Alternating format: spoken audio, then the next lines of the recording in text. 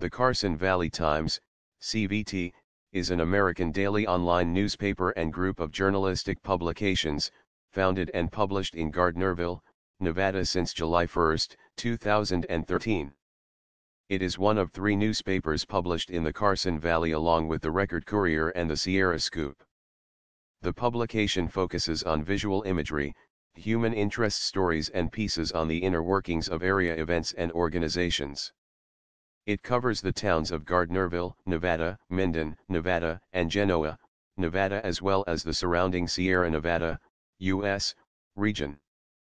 Regular contributors include writers Scott Neuffer and Sheila Gardner and photographers Ron Harpin, Chris Dickerson, John T.